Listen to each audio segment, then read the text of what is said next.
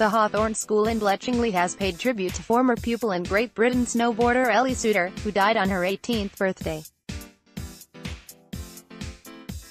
In a statement on its website, the school said it was greatly saddened to hear of her death on July 25, adding, Teachers and staff remember her as a bubbly, likable and enthusiastic pupil. Miss Soutter, from Oxted, joined the Hawthorns at four years old and stayed until she moved to France with her father at the age of 10. In France she picked up snowboarding and was scouted by Team GB.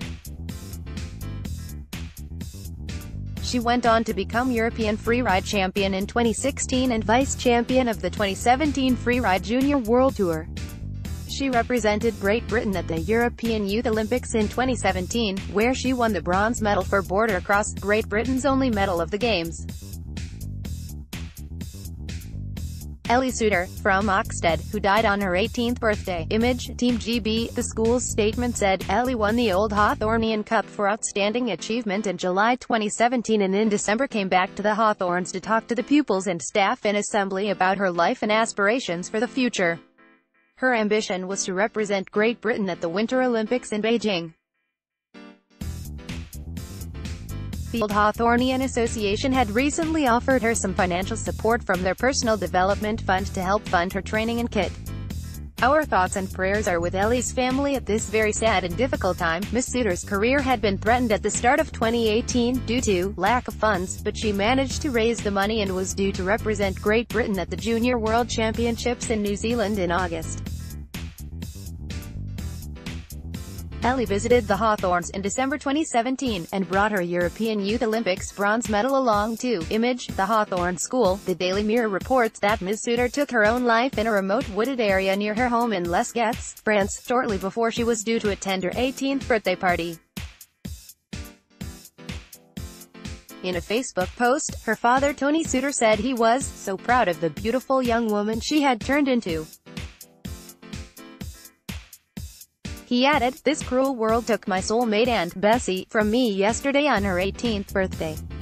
Ellie, I will miss you more than you could have ever imagined. Rest in peace you little champion. Her family has set up a foundation in her name which they hope will provide financial support to young winter sports athletes. Repurposing an online crowdfunding campaign started to help Ms. Soutter fund her own career. Don't have to suffer in silence if you're struggling with your mental health. Here are some groups you can contact when you need help. Samaritans, phone 116-123, 24 hours a day, or email joe at samaritans.org. In Confidence Childline, phone 0800-1111. Calls are free and won't show up on your bill. Papyrus, a voluntary organization supporting suicidal teens and young adults.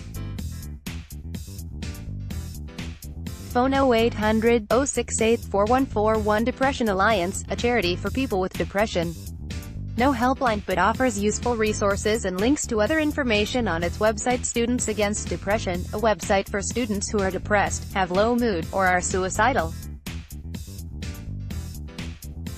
Click here to visit Bullying UK, a website for both children and adults affected by bullying. Click here Campaign Against Living Miserably, com, for young men who are feeling unhappy has a website here and a helpline, 0800 585858.